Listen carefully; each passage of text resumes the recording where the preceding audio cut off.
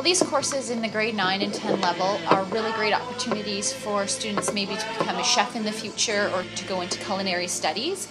But um, if people want to go and be a registered dietitian or nutritionist, this is a great course for that. They offer a really good program at Brescia University College at Western.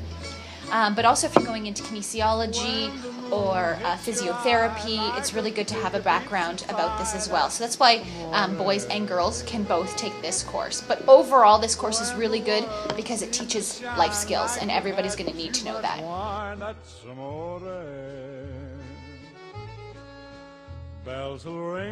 We make food and we learn about different kinds of foods and the food groups and measuring and all that stuff.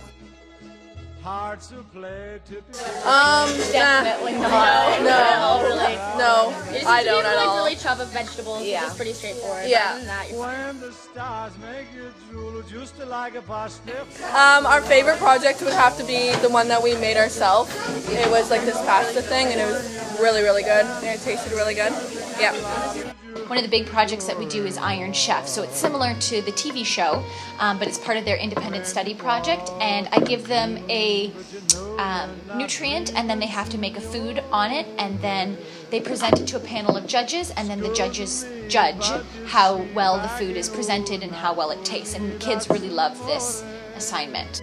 The great thing about this course is that there are no prerequisites at any level. So um, you can take the grade 9 course, which is also offered in grade 10. It's the exact same course, so you can take it in either grade, which is really great. But once you take it in grade 9, you can't take it in grade 10.